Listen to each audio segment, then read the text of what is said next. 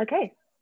Good evening to all. My name is Iris from the S.E.A. Focus programs team, welcoming you to S.E.A. Focus 2021 Gallery Webinar Series, where we invite participating exhibitors to present a live digital event to our audiences. The series is also screened on site at S.E.A. Focus curated Hyper Horizon at Tanjong Pagar Distripark. So if you are joining us from there, welcome, and we hope you enjoy the exhibition. Our presentation today is from Silverlens with director Isa Lorenzo, who will be joined by artists Pow Martinez and Gregory Halili. Silverlens was established in 2004 and is based in Manila. Though initially built to showcase photographic works, its platform has now expanded to highlight a wide range of practices and expressions within the region's contemporary art practice. Now, 16 years later, Silverlens represents 25 artists and continues to make headway in contemporary Southeast Asian art. I will now hand the time over to Silverlens for their presentation. If you have any questions, please use the Q&A function at, at the bottom of your screen. Isa, over to you. Thank you, Iris. Good evening, everyone. I'm happy to be uh, here um, virtually in Singapore, but uh, on site here in Manila to do a presentation with Gregory Halili and Pow Martinez, who we are showing on site at Heliotrans for the second, um, our second participation at S.E.A. Focus. So um, that was a pretty extensive introduction that Iris gave us. So I'm just gonna go straight through to what we're to talk about today, which is called Trouble in Paradise. So our presentation uh, presents two very sought after artists, Pow Martinez and Gregory Halili. They are both painters, but on the surface appear completely opposite, judging by their works. Gregory makes very detailed and aesthetically beautiful miniature paintings on natural materials, mother of pearl, Capiz oysters, corals, and ivory. Pow, Greg, can you wave if they can see, so they can see? Okay, Pow, a figurative painter, makes emotional works that are known for their characters in landscapes of disintegration and urban scenarios. His are not beautiful paintings in the con conventional sense, nor are they meant to be, but they are emotional, alive, and very rich. Both artists make works which are soulful and contemplative. Aside from the COVID-19 pandemic that ground life to a halt, both artists bore the brunt of natural calamities in 2020. The Halili studio was affected by the Taal volcano eruption of January of that year, covered under feet of ashfall, while Pow studio was flooded by a three meter storm surge brought by the typhoon Ulysses in November of 2020 as well. Coming from the Philippines, where nature must be treated with utmost respect, the survival instinct and push to continue making art characterizes both these artists, something we would like to talk about in this digital event titled Trouble in Paradise. So I wanted to start off with a video. So Pow, can you wave? This is Pow. Um, we're gonna start off with a virtual studio visit. We prepared videos uh, starting with Pow and then Greg.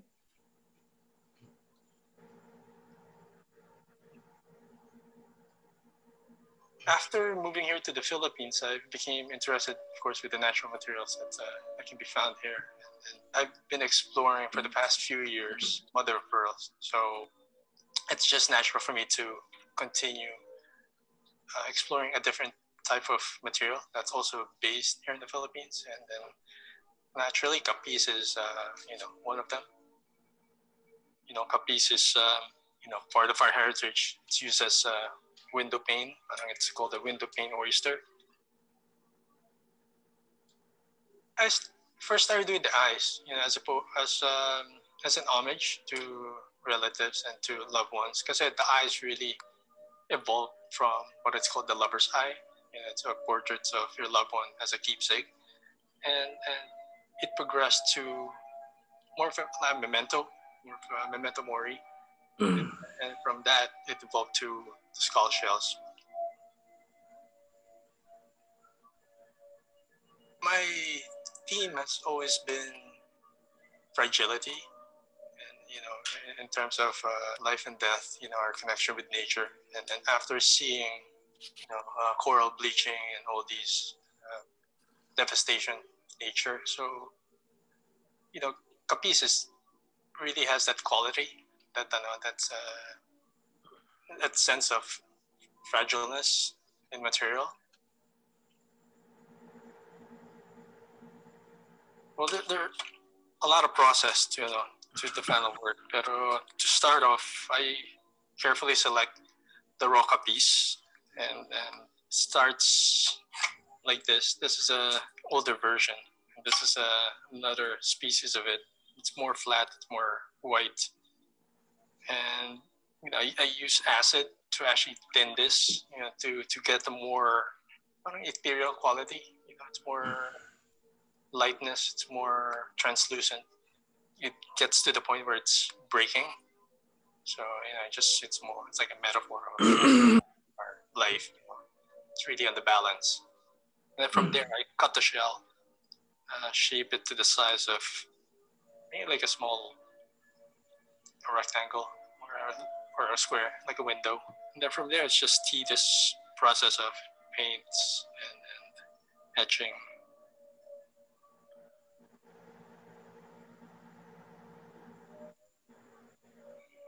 Um, yeah, the images. Uh, some of these are life experiences, like the Taal scene, for example, or the volcano eruption. You know, it happened here, so I wanted to depict that because experiencing that uh, made me aware of how vulnerable we can be. So we're at the point of life and life and death, really. And, and I wanted to depict that with the work showing how fragile life can be.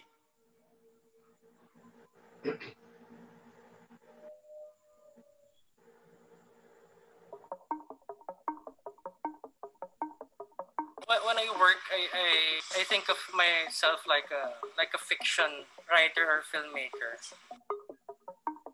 I think the purpose of painting is also to create realities it's like I'm creating my reality, and then there's this whole internet like truth, and then like telling me what to do or how how to think. Sometimes it's too much information, so so I remind myself not to be online too much. Yeah, I, I wanna create characters. Yeah, sometimes I deliberately like do a like a problematic image or composition and like use colors that don't match like the idea of like the ugly composition or painting and making it somehow work. That's why i paint like like i'm attracted to like uh, like childish paintings. And i work i want to work on things that are not automatically like nice or making boring you know, like banal things work making, making it interesting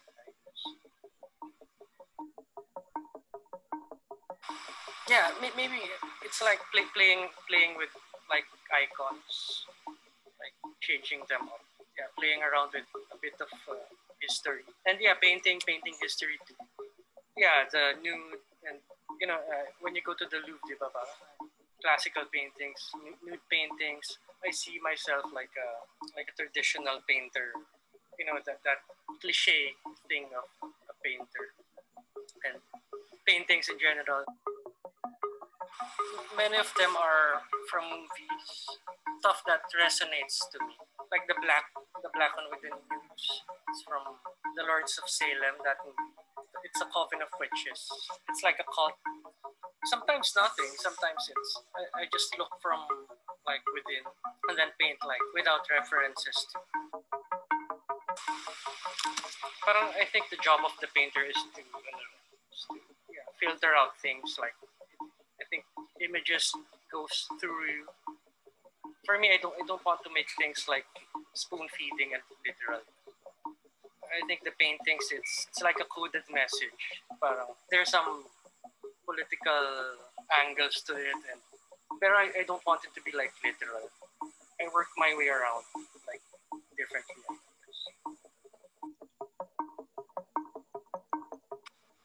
yeah yeah that's why i think like uh, I, am i just paint I'm, I'm just a painter i just look in the world and paint romantic na yan.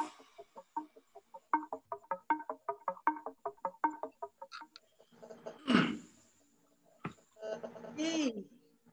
Um, so thanks, Pow, and thanks, Greg. Thank you. So I want to start it off by um, saying I'm really glad that we paired the two of you up because I think this is the first time you're ever showing together.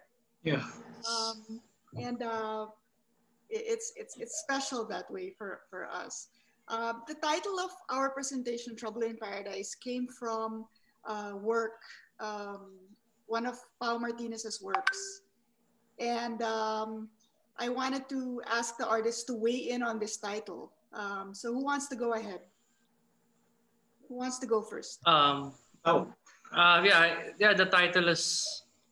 It's it's pretty self-explanatory at this time. so, yeah, the world is you know being destroyed, and Yeah. Um, Greg, maybe you can tell us about the volcano. Well, uh, well, 2020 will really be a unfor- you know, unforgettable year because my my year started with a bang, literally. Uh, I can clear, clearly remember swimming with my daughters around 11:30, 12:30, and then around one o'clock the volcano exploded. So on this clear day, um, you know, all of a sudden it, everything turned gray, and around 30 all the ashfall started coming down. So, I mean, I was excited because, um, you know, it's my first time to see. And it was really beautiful. It's like snow in a way, but but when it started coming down, um, there was this uh, toxic fume. So it has that um, uh, smell that's fairly sulfuric. So uh, you get you got serious you know, and um, and, and, and then from there, uh, it's uh, you know, it, it's it's really the point where, you know, this is not not uh, not all beauty. Yeah. Um, and but you said that you were excited, and there was it felt you know there was this sense of when did this excitement turn into you know No, yeah, I was excited at first because when it when it was um start start attaching to the ground or, or falling to the ground, it you know everything is, is it's so uh, surreal, you know. And so so I was excited about that. Visually, it's beautiful, but then it, it got um, you know overwhelming with, with the smell. Maybe a few hours later, around three thirty, you know, it started around one, and then when when everything when when ash gathered around 3.30 you know it started accumulating to the point where the smell is unbearable so i had to close all the windows you know um, i mean i'm just lucky i had a lot of plants right right that really sustained us right so i'm showing you the paintings now of the presentation and these are Pow's works and this is um, the work that actually um, is the title of our presentation, Trouble in Paradise. So, um, Pow, any thoughts about the, the work? this work. Yeah, Um, I think these portraits are like like lulled individuals, you know, like staring into the void, like like I don't know, like uh, like blank portraits. I, I think of them as yeah, yeah. yeah, but yeah, So, so what did you guys learn from your studio? So, so Pow, um, as I mentioned in the intro, your studio was sort of wrecked, like yeah, yeah. I got flooded. My studio is like like totally flooded. Right, So- right, right. How was that? Um, what was that experience like? And what did you take away from? Um, Learn from that? yeah I, I learned that you know like all your like future plans like your yeah like in a in, in a matter of hours can be like destroyed Right, right. so you know like my files my like some some of my pictures like portfolios so um, it, it's about yeah th- things are temporary right, right, right. Um, if you if there was something that you wanted uh, if there was one work you wanted to talk about in the series. Um, you guys have any favorites? Um, I, like deep end for me. Okay, let's go to deep end. Uh, the coral. I mean they're, they're all they're all my favorites but uh, this one for me resonates as a I mean, as a, as a child, I used to see a lot of, uh, you know, really full corals. I mean, you go to Batangas, it's full corals, uh, anywhere, all the beaches. But but um, recently, uh, you know, I'm, I'm an avid, uh, I, I, go to the beach a lot. So, and, and I often snorkel. So I got to see the, uh, you know, devastation of, of, uh, of how it was up to now. So I saw actually saw coral bleaching. I saw, you know, um, cleared. Uh, what do you call this? Like a almost like a bay. You know, literally it's like dead. You know, so um, I mean, you can tell there's remnants of corals yeah. there, but everything's destroyed. So for me, that's um, something I kind of wanted to depict. Right. Yeah. And, so the, the Philippines and as Singapore is, we are equatorial. And mm-hmm. we really are the ones bearing the brunt of all this climate change. Yeah. I mean, the Philippines, we started last year with a volcanic eruption, which had nothing to do with climate change. Yes. You know, it's just the way things are. Yeah. Then, of course, we had COVID, which was just something else. And then we had floods, uh, typhoons, uh, earthquakes. Um, this seems to be, you know, we are, we are sort of at the crux which is what the title of your volcano painting is. You know, it's that's that's what it is. Yeah. So, Pow, any any favorite um, Maybe that the the one doing yoga, titled self help guru. Okay, let me move to it. yeah, yeah, that piece. Uh, yeah, I think it's a yeah. so so that's yeah, doing yoga and then having this uh, yoga instructional. But yeah, it's also about uh, the current like self development addiction, like uh, like looking for. Uh, you know, you know, you know those, you know, ch- YouTube channels that gives, you know, like advices, like life, like how, how to improve yourself. Yeah, yeah, but but I'm wondering why does she have no clothes? uh, maybe that's the way to go, you know. So, but yeah, but yeah, self these like gurus turn turns out to be like like fake gurus, and then like extreme positivity turns into like toxic right. like self obsession, like perfection. Right, right, right. Yeah, and we're yeah, always asking the internet for help.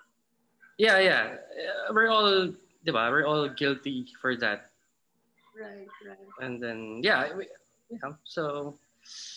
Uh, interesting that um, the whole of 2020, so prior to 2020, all of Pow's paintings were sort of outdoors in an exterior landscape. 2020, he started making paintings that were indoors.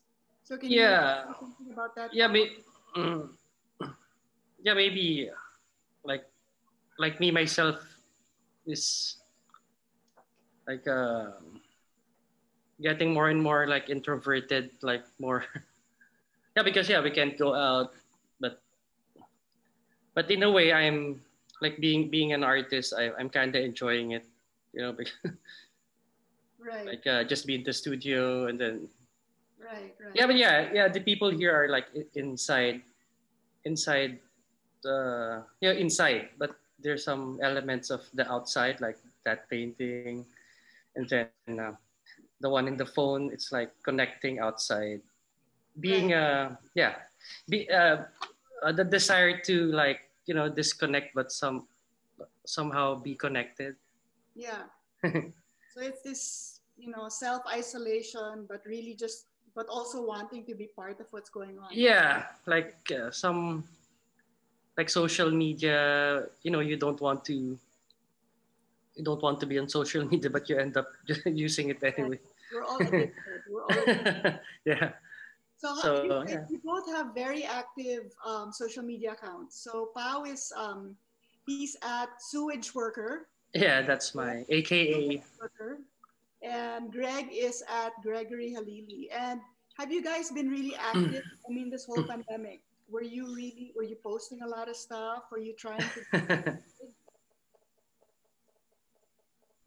Greg? yeah, yeah, Greg. Yeah, yeah. I'm active. I'm, I'm, I'm a, Yeah, I'm active too. So kasi that's um wala, that's uh my way to the world, you know. I it's hard to go out. That's how I see the world. I mean nowadays that's what how everybody really look. Right. uh, Right, right, right. Um, you know, for for what all everything that we've been doing, I, I just want to say that 2020 is turning out to be one of our busiest years here in Manila ever. And it's it's such an eye opener because we've had not you know a number quite a number of visitors to the gallery and I realized that um, even though we're not high up on the list of like you need us to survive, we have become super essential in providing just joy and pleasure um, showing art. And I think Pow and Greg, even if 2020 sort of shut the world down, their studios were super active. Um, I think this must have been your most active year, no, Pow? yes, yes. Ironically, Yeah. yeah. Good. Greg, you too? Was, was your studio super active? It's active kasi you know that's what we have to do. We just have to, you know, survive and So everything behind you, was that made during 2020? uh no about more than half about there. So it's really just playing. Amazing. you know it's not it's not you know i don't consider it really it's more it's more like a different direction Right, right, right. it's a point where to look back is this the one is this the direction where, where i really want to go so you know not sure if these are the works Right, right, right. Okay. Um, Pow, anything, anything you guys want to say to each other or ask each other? Um. Or say, ask me. I don't know. I don't know if we have any questions. Maybe the maybe the audience wants to uh, jump in and ask some questions of us. Um, let me see. No questions. Okay, let's. I'm Are gonna there? ask- I'm gonna ask. Um, wow, wow. yeah, yeah, yeah. So can you tell us about? Because you're also a musician and you work with noise, which is its own Yeah, that's genre. So can you tell us about that? yeah, that's my second life. Uh, yeah, I've been doing that like for like 15 years now. Like, you know, like uh, So is your handle sewage worker? yeah, that's that's my AKA. Oh. And um, yeah, so yeah, I, I- I regularly perform in the in the experimental music scene here in Manila. right, right, right. And so yeah, so I'm I'm part of that Yeah, the world too. So yeah. yeah, so side by side with yeah painting and Yeah. so So Greg, what's your what's your hidden talent? I- know it. I, I I'm gonna give you a clue. Your garden. garden gardening i'm actually lucky that um you know i have all these plants before the pandemic so I mean, Pandemic. pandemic. So some of these plants I can't even afford now, you know. So Yeah, for, for the audience, the price of plants has skyrocketed because everyone now is a plant um, person, is growing plants. Yeah, no. You're jacking up the price now. Okay, so we have a question from Chris Ardenia. Question for Gregory. Do you seal your paintings after you etch the shells? ah no, no, no, I don't seal them. Um, well, I played around sealing it, but there's a when you varnish it, there's a point ano, eh, where, where you lose the luster of the shell and you lose the, um, you know, it's it's almost like in painting, it's almost like the atmospheric perspective. So you lose that depth when you varnish it. So, and then I kind of want to uh, have that haze or more, or more uh, texture. I say once you once you seal it or varnish it, you lose a certain texture that's uh, integral to the painting. Right. So. Also, when um, just to add to that, I mean, for uh, when you see Greg's collection of brushes, you'll realize that a lot of them are single hair brushes. Uh, no, it's, it's it's about ano, it's about uh, about hairs at the tip. You know, not really single. So it's part, it's about 20 hair that goes into one. But um, I mean, you know, that's uh, that's uh, well, I I want to get the intensity. Yeah. Of, of the work. Right. The way to do that, the brush. Okay. Uh, any parting words, guys? Anything? Any last thing you want to say? Um, no. I think during this pandemic, you just have to surround yourself with art. Right? It's uh, that's how we heal. Right. So, so good. Yeah, that's so true. Yeah, yeah. Art is the way. Art. Yeah. it's enhancing. Art is enhancing. Art is the way. Yeah. Um, all right, I think that's that's it. Uh, if there are no more questions, we are good. I'd like to thank everyone for being here. Thank you so much, Singapore. Thank you, Pa. Thank you, Greg. Please follow us on Instagram at Silverlens Galleries.